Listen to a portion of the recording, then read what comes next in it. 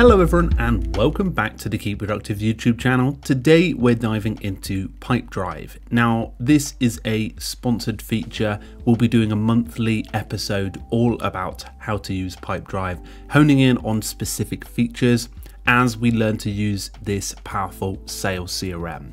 So you can check out the link in the description to Pipedrive and naturally get uh, an offer there uh, which uh, might uh, find interesting um, and also any more details uh, at the end of this video.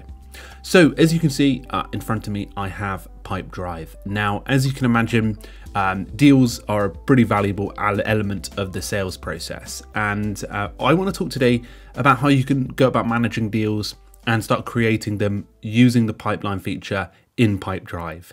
Now, as you can imagine, uh, this can be a pretty useful weapon in keeping control of your sales. Uh, I remember when I worked for a company uh, and we sold um, these language learning products. And uh, one thing that was really helpful was actually having Pipedrive because I could track the bookstores that we were visiting and just keep an eye on everything. Um, at a glance um, and really move them between the different processes or stages of the deals. So um, it was really helpful for that. So I'm going to dive into a little bit of the features around the deals that you might find helpful. So as you can see here, uh, we're in this second element called deals. Um, you can go into the lead section, but we'll probably cover that in another episode. You can see here that I'm in the pipeline.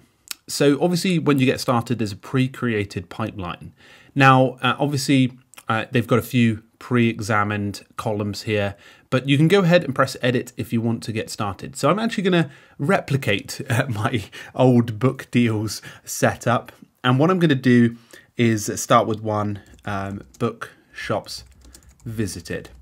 This could be uh, like, for example, even a call or a lead or, you know, something you're getting started with um, when you're sort of getting out. Um, and as you can see, uh, I might keep contact made but you can move these around and even add stages in between. Um, so demo scheduled uh, could be a good one because the language learning product we had was actually quite um, very visual uh, in in the sense that we made most of our sales once people knew what it looked like, um, and we can have proposal made still being uh, there.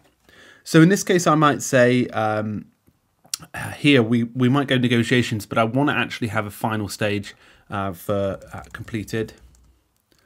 And uh, as you can imagine, I'm going to press save. So here is the new pipeline. Uh, as you can imagine, uh, what's quite helpful is you can see the the, the amount of money uh, that you've got per sale um, as they come in in different stages. So it really shows you what area you can focus on in terms of moving and converting as you go along. Now you can add a deal by hitting deal up here. And as you can imagine, um, you can start adding the regular sort of details you would with each sales process and, and where they are in the pipeline. Now, obviously, um, you can do a, a, bit of customization to your form fields. You can do that inside the settings. Uh, we won't touch on that. However, that's particularly helpful when you're looking to add uh, your own sort of elements to it. So, for example, if you had uh, this person uh, section, you could, for example, find uh, job title, um, their job salary useful. I don't know. Um, it just adds more addition uh, when it comes to uh, getting stuff going. So I'm going to call this uh, person John Appleseed, who works at Bookshop Inc. And uh, you can add them as an organization, um, and that person is created as well as a contact in your system. So if I went to add that as a Bookshop Inc. as an organization, it means that if I have another contact at that organization, it means that later on it becomes more valuable um, to uh, be able to keep a track of it. So I can put um, bookshop deals a title there, and the value in this case might be, say, £2,000. Um, although you can change the currency if you do international sales, and you can also add uh, additional products. Um, so, for example, if you're selling uh, workshops or high value products, this might be helpful for you to really get a grasp of how much that person needs um, and you can change and adapt the quantity as you go along. So that's if you need to add any more products. Um, in this case, I might actually use this feature just to demonstrate. So I could say language learning book. I'm going to say it was £5 each. And you can see there that I can add that product as part of my system. Um, so I'm going to put this at five pound. So obviously I'm going to have to uh, ramp this up a bit. Uh, I need at least I think 400. There you go, 400 uh, to make it um, and uh, make sure to get the sales in. So obviously that blurs out the value because it, it now values it based on how many products you have. You can add more products, so it doesn't just have to be that lineup. You could add as many as you like, which is quite helpful. Now you can choose what part pipeline it's actually part of. I actually created a pipeline a moment ago, but you can actually have multiple pipelines running, which is particularly helpful because you might have one for bookshops, you might have one for uh, retailers, you might have one for um, you know, uh, like uh, educational providers. So you could have a pipeline dependent on your sort of area. I think we had the same. Uh, we had one for like bigger retailers like Tesco, Sainsbury's, and things like that. Now you can then move it between uh, the stages it's in. I'm, in this case, I'm going to put its contact made, and you know, ideally, I want to expect to close it at the end of the month. You can change the visibility here to different subgroups or entire company or just yourself. In this case, it's just going to be myself. And you can put the, the details of the phone number, etc., uh, that uh, that person is uh, made available on. So I'm going to press save. And as you can see, the new deal has been added. So as you can see, it skipped that first process because I've actually made that contact with John Appleseed. But I can start adding ones here that might be relevant for the future. So I can see that I can click in. So as I click in, this is sort of where the magic happens in terms of managing the deal. Obviously over a deal, um, sort of a, sale, you'll be able to capture different elements of your um, the success of the sale, really. Um, and as you can see, um, you can capture activity. You can make notes. So, for example, you could say, uh, you know, I spoke to Julie, his assistant, on the phone, and uh, she recommended that I call him between 12 and 2. Uh, so you can make some notes for yourself um, that you can come back to next time. And as you can see here, the activity will be posted down here.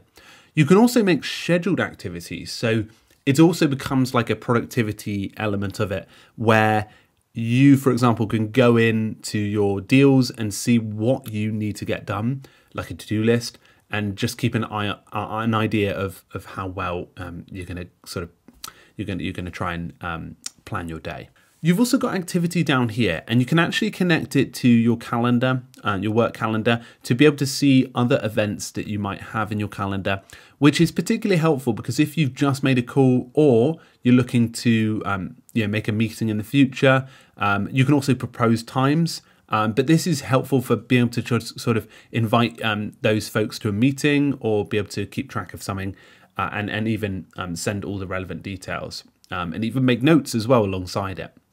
You can propose times um, by choosing specific times or general availability, and that's quite helpful because they'll obviously be able to choose a time uh, based on your calendar which is uh, most effective. And you can also uh, add in different types of activity, like a task that needs to be done. So, for example, uh, a task might be something like, for me in this case, it might be like send them uh, the uh, the language learning product video to explain how the product works. Over here, you can add calls. Now, what's very decent about this is you can make calls from the web application using the caller um, which is their like default uh, experience, but you can also transfer calls to your phone as well. And this is helpful for making sure you're tracking when a call is made and uh, what time, and um, you can also make notes during that call too, which is helpful. You can also track email. Now, this is part of their advanced program. However, uh, it, it does allow you to sync uh, emails and track messages that were clicked inside that email. This is helpful to see whether they're actually interacting with any of the elements. For example, you send them a video to try and visually represent your product, uh, or maybe in a video that you've sent through, like, I don't know, Loom, uh, or some sort of meeting application that you're trying to uh, talk to them through. So that it's a bit asynchronous, so they don't necessarily get overwhelmed. You can do that through there. Files is also very helpful if, if you've you've sent something or they've sent something, or even documents, um, and they have this feature called Smart Documents, which I believe we've covered here on YouTube, and I'll include the video about it, as well as invoices, um, which you can actually connect up an application like uh, I think QuickBooks is part of them too. So going back to this sort of layout, you've also got the ability to adapt and change information per person, per organization as well. And you can also see information like email BCC. So for example, if you were to um, send them an email, you can put this in the BCC and it means that it's able to track the deal's progress. Um, and what's helpful is it'll bring that into the schedule feed and you should be able to see it through emails. But that is really helpful uh, for just being able to keep track of everything that happens. You can also add deals with uh, details, sorry, uh, with additional field names that are custom to you. So if you want to add in a few extra ones, this might be helpful. So some salespeople like to keep a uh, an eye, I to keep an eye on, keep an interest in in what that person is like. So you could might maybe make a field uh, of like you know likes uh, Formula One, and then uh, every time you call them, you can chat about the latest race. Uh, I don't know, but it gives you a little bit of insight into uh, how you can do it. So up here you can press win or lost and you can change ownership. But you can see here that I'm actually uh, the user who has been allocated this one. Uh, you can transfer ownership to another person, um, which is something we did quite often, um, especially I think a sales um, professional came on. Uh, I'm not a sales professional, um, and I was actually the marketing manager. And um, what happened is he took over the deals, so I was uh, transferring ownership to a lot of the deals to him as well. Now, what's cool as well, you can duplicate, merge, delete, export as XLS, and convert them to a lead. So leads are ones that don't ne necessarily um, make it to become a deal yet, but it's helpful to have them in the process. So if this one doesn't actually sort of, uh, I lose contact and I can I can put them back as a lead uh, for maybe another person to start uh, going uh, at. And what's really nice is as well, in terms of collaboration, if you and your team are keeping track of your notes activity, calls and things like that, the other person who's doing the deals, if say you switch um, just for the sake of giving a new angle or trying a new type of uh, approach, that's quite helpful because what can happen is uh, the other person can catch up on all the information. Like, for example, they'll be able to know, oh, you spoke to my colleague uh, Bob uh, last week, and he said that you were really um, interested in this product, and I'd love to carry on the conversation. You know, you can really customize it um, for each of the deals that you're interacting with. So if I go back to this deals area, you can see that, um, and, and, what I really liked is is this sort of activity. Um, it's like a constant prompt for you to actually uh, nudge the next activity. It always needs something to be rolling with this. And that's quite nice because um, what it really pushes for is the ability to keep on track of your sales. It's that whole GTD concept of next action. What is going to be happening? So, for example, you can book a call. Um, so, for example, I might say, okay, I'm going to book a call for Saturday. Oh, maybe that's a bit. Oh no, coffee shop there. Bookshops are open on Saturdays at two thirty. As the day's easing down, uh, call with John. So you can see here that I can schedule an activity. And what's cool, if I go back into this, you can see that, right, I've got a call with John there. It's all planned. So any given time, if you see those sort of like warning arrows, it's really just a prompt for you to schedule an activity and coordinate ahead. Now over here, you can see everyone who is part of this, but you can create, like for example, you can only see deals that uh, I'm in charge of, but other people are in charge of too. So those filters help you as well as seeing, uh, for example, all the deleted deals or the lost deals, open deals, one deals, more than three months old deals, rotten deals, uh, ones that are sort of uh, dead in the water and that might need reviving. Um, and you can see up here as well, like the okay, I've got two thousand dollars in won deal, but obviously that sort of um, you know projects it. And if I go to forecast, this is this was actually quite helpful because it kept an eye on um, ideally, like what are we uh, aiming for? And obviously, once you complete deals and win them, you'll get an indication on whether you're reaching that target and whether you're aiming for it. So this was helpful in being able to sort of see, all right, okay, um, if I secure some of these deals, this is going to be the projected revenue per deal each month. And you can skip months um, and really try and keep track of that. There's also a list view.